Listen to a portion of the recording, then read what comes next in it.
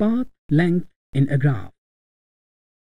The adjacency matrix shows whether or not a path exists between a pair of vertices. In other words, it tabulates all paths of length 1 in a graph. In some applications, we are interested to know whether there are paths of length greater than 1 between a pair of vertices. Consider, for example, a simple graph shown in this figure. Note that vertices A and B are connected to vertex C, but it is not directly connected to B. Therefore, although there is no path of length 1 between A and B, there is also another path of length 2 because B is reachable from A via C. Using adjacency matrix, we can find paths of different lengths for graph. It can be shown that square of the adjacency matrix gives paths of length 2.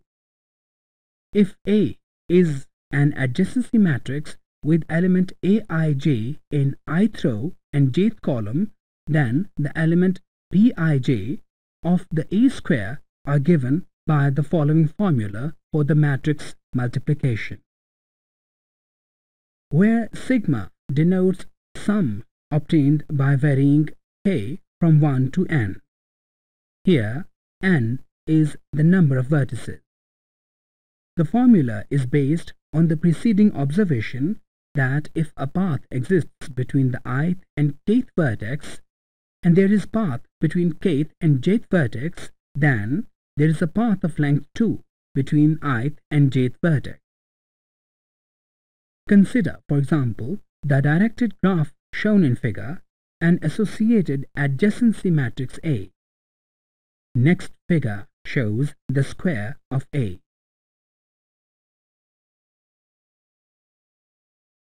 From the matrix A square shown in the figure, we can conclude that there is one path of length 2 between A and C. This is in fact the path ADC.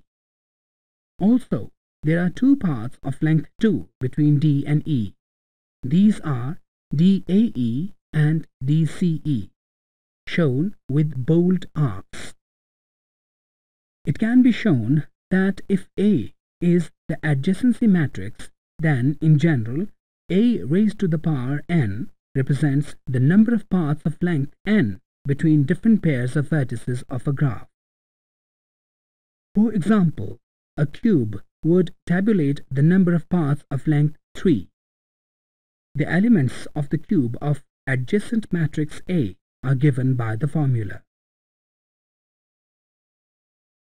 Where Pij refers to an element in the ith row and jth column of matrix A cube. In other words, Pij is the total number of paths of length 3 between the ith and jth vertex of a graph. This figure shows the graph matrix A raised to power 3.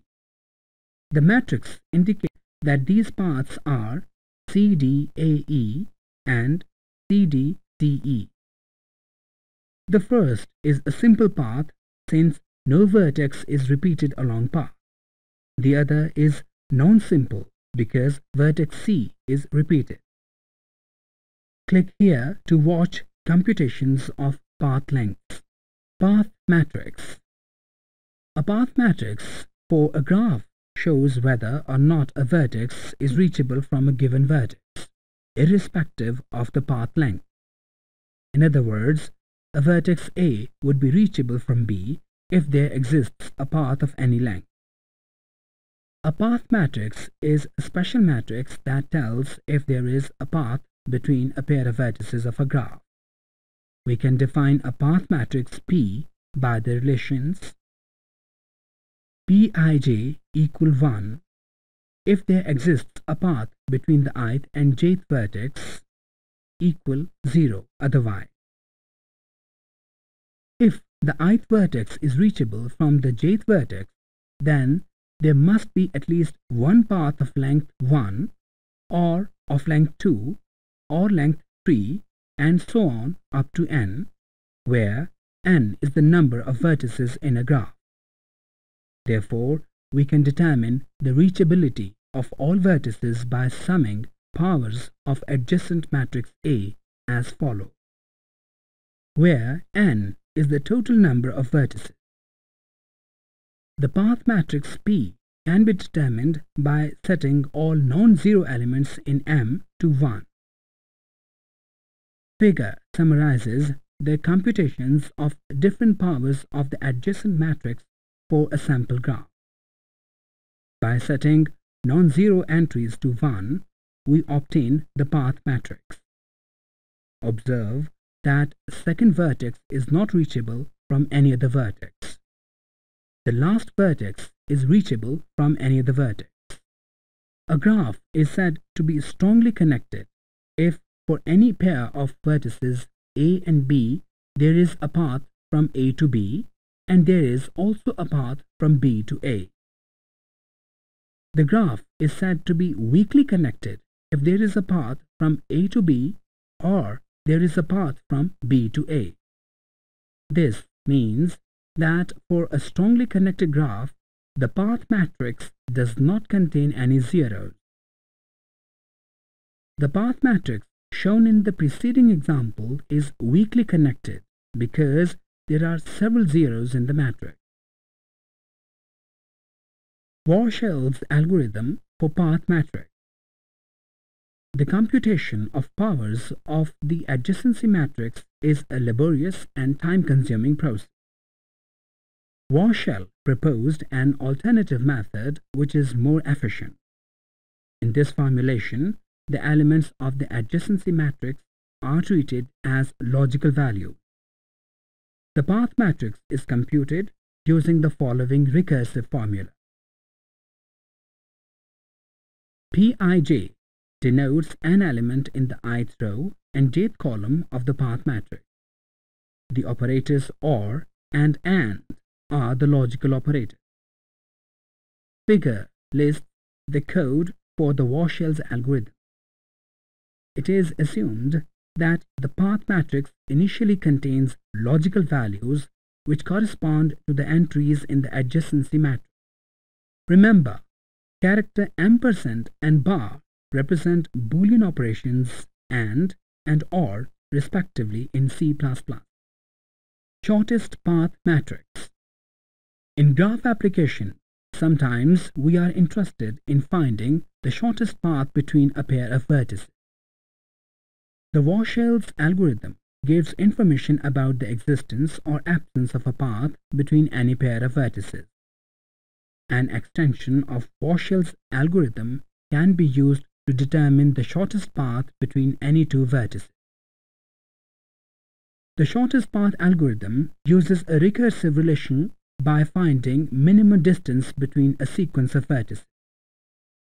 In essence, it computes the sum of weights wik and wkj and compares these with the weight wij.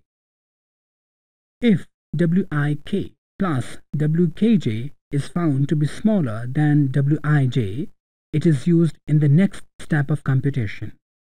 In order to ensure that zero entries in the adjacency matrix are not considered as minimum values in a computational step, all zero values are initially set to a very large value, which is referred to as infinity.